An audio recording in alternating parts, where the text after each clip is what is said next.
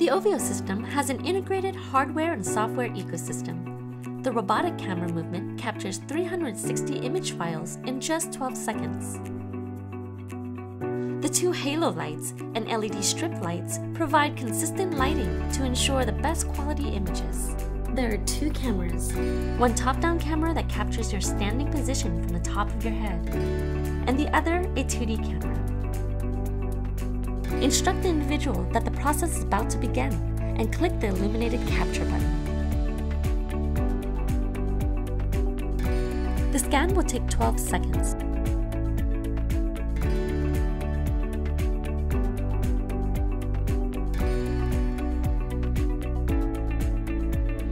Once the capture is complete, instruct the individual to exit and stand clear of the perimeter of the machine.